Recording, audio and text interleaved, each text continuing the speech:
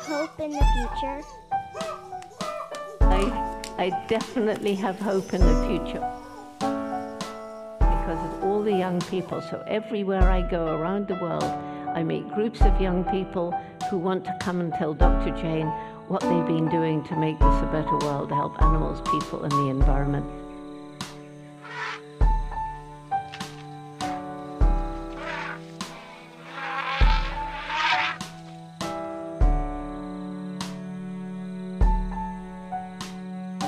It's not that young people can make difference, they are all over the world, all the time. And that's so enthusiastic and so inspiring. That's one reason for hope. Second, it's this amazing brain.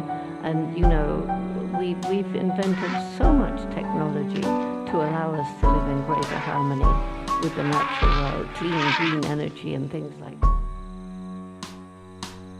And also thinking with our brains about what we can do each day to make a difference, to make the world better.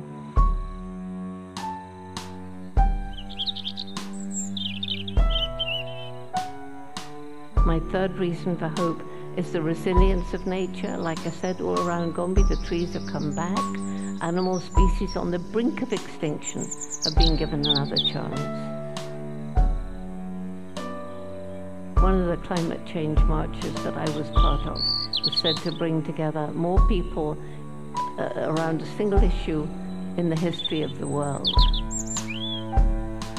And finally, the indomitable human spirit, the people who tackle the impossible and won't give up and inspire others. So yes, I have hope for the future because each one of us, every single one of us, has that same indomitable spirit. We have to let it grow and get together and realize that in togetherness is strength.